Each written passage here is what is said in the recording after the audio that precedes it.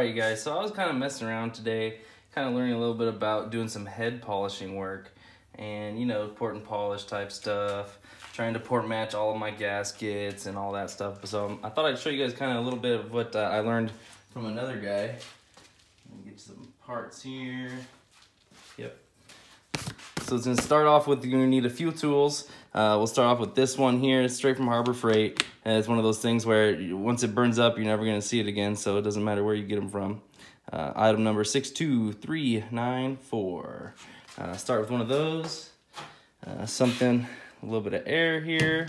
Uh, and then we'll finish up with something like this. And then this is uh, for another little project. I'll show you guys later. But let's get you guys zoomed in. So as you can see, I've already kind of done a little bit of work here uh, across all these, but I'm realizing I went uh, to start polishing them, and right here, you can kind of see I still have some roughness there towards the middle. And so I'm gonna go and kind of start all over for you guys, so that way you guys can see all the steps, and uh, we'll get to it. So we're gonna start with the uh, 80 grit here, and uh, on our tool and we're just gonna go to town pretty much. Uh, I'm not trying to do anything too crazy here. Uh, I'm not trying to take and make the ports larger or try and port match them. You know, I'm just taking the roughness out of them and then they should all be uh, as close to factory, you know,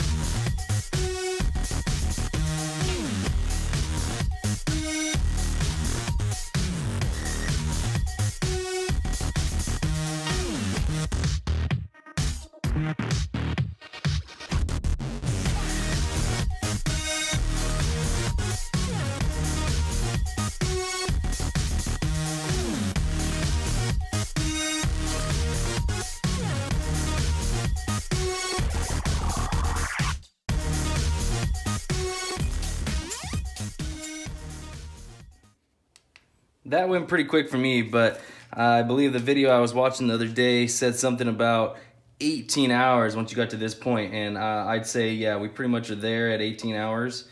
Um, I don't know if you guys are seeing this, but my buddy just pointed this out to me the other day, something I didn't notice on this head. Um, I mean, overall, it's not too bad, and with the engine it came off of, I'm 90% sure it was running. But uh, he saw that these uh, ports right here in the middle for the water jackets are actually you know, washing out towards the actual seal here. So uh, I'm probably end up sending this head in, of course, right, and getting resurfaced and all that, and they'll have to fill all that in for me. We'll see what they decide to do, but either way, this is a good time to learn. If it was a bad head, it's perfect time for me to do this, so uh, let's keep it going.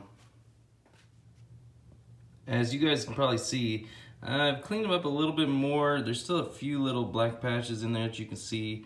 Um, but we'll slowly get rid of those and uh, you know the more we go here the cleaner they'll get. So definitely keep going at it until you get everything gone.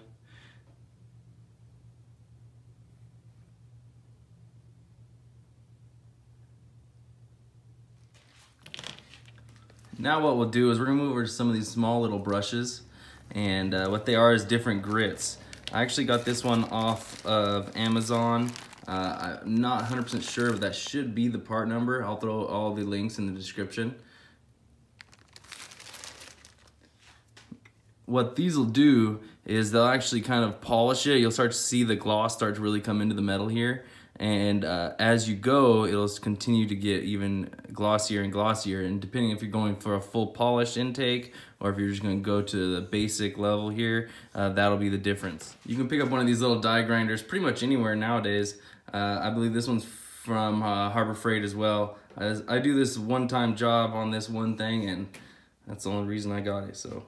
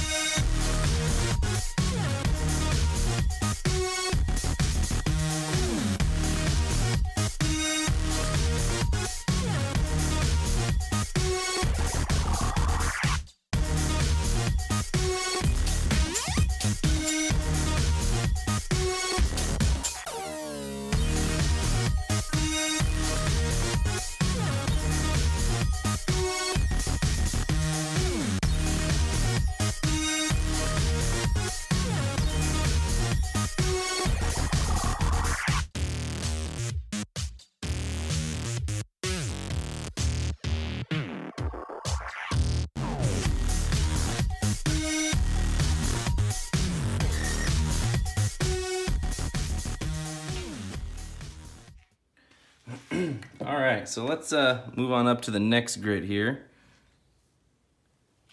Now, you guys don't have to take it this far, you know, but I'm gonna go all the way down to right around 400 grit, and uh, I may even polish it all out. So uh, if you want, you can stop now, but hey, might as well go all the way. We're here, we're doing it. Let's keep it going.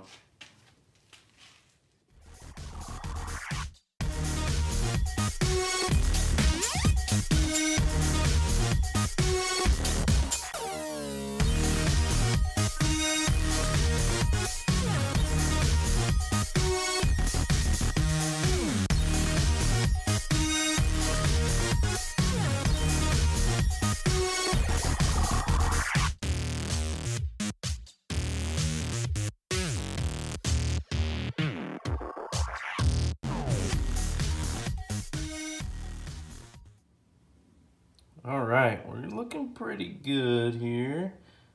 I'm just trying to get the floors, get a little bit of everything.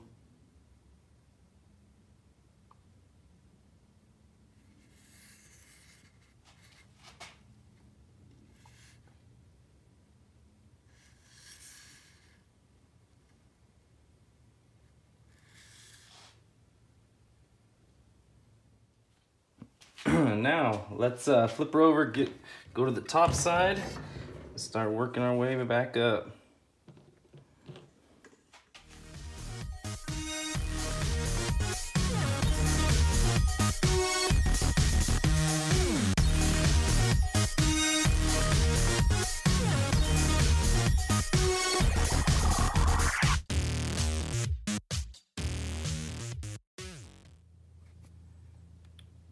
Show you guys a little close-up action here.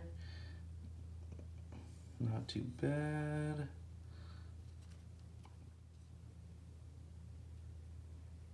All right. All right. At least everywhere I can get to. I mean, there's such a tight area behind that little thing back there, and so couldn't quite get there. So here we are. Not too bad.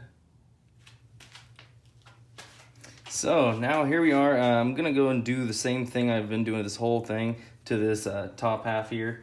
And what I'm trying to do is just, uh, my heart is trying to avoid any of these valve seats. These do seem pretty deep in there, so I'm a little concerned, but like I said, I feel like we're gonna have taken this head in anyway, so uh, let's get down to business and uh, let's see what we can do.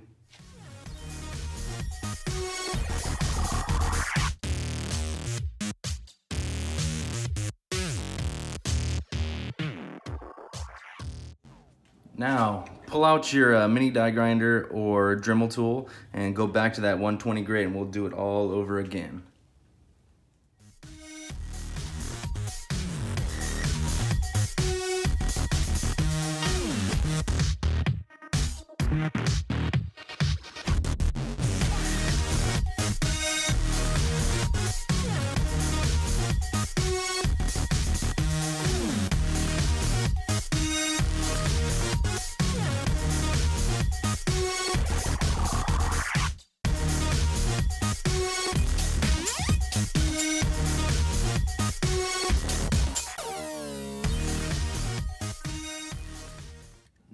We've gotten this far, just do a quick inspection, kind of see, uh, you'll really get to see the roughness if there is any left.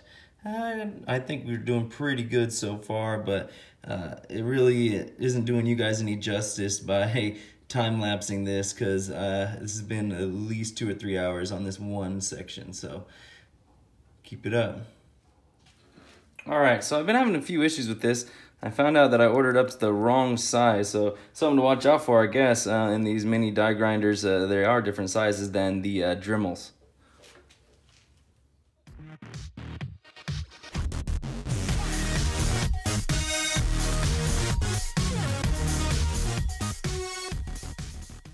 Just to kind of show you guys what I was using here, it's actually nothing special, something I picked up off of uh, Amazon. It's just a little kit. It's got a bunch of different polishers, different shapes. And uh, so here's one, here's another. Seem to work pretty well, but uh, we're gonna go ahead and buff this sucker out and see what we got.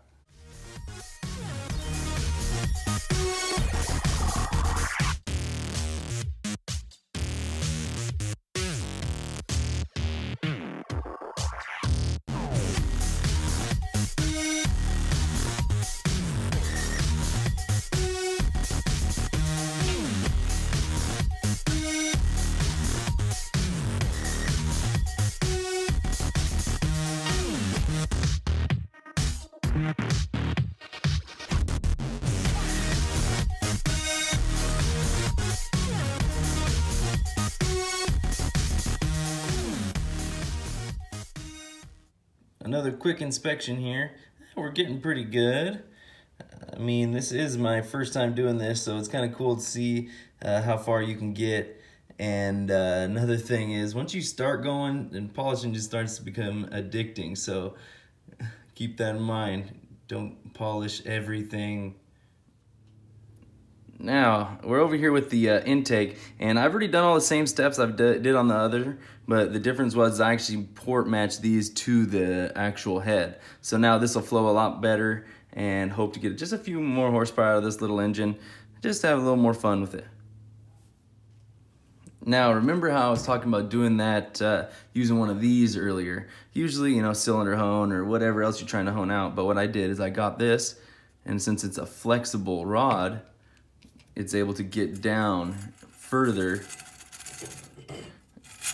than I can see a reach or anything else. So uh, pretty clean down in through here. Uh, just trying to help out a little bit, you know, every little bit help makes a big difference. And another thing I did, I came around this side and just kind of cleaned up as much as I could on the inside here. Uh, just kind of getting it down to that smoothness. I'm not trying to make anything crazy massive, just smoother's better. I'm also thinking about doing a lot with this exterior. Uh, probably taking off all these extra bumps, clean it up a little bit, maybe even do all the polishing. But uh, that'll be another video because that's going to be a big project within itself. Uh, probably knock off all these, all this, all that, plug it all up, even this one here because it's not going to be a street car, so it's all good. So now you guys all know a little bit more on how to port and polish your own heads. I may do another video on some other stuff in relationship to this, but uh, if you guys got any questions and comments, leave them down below. And don't forget to like and subscribe.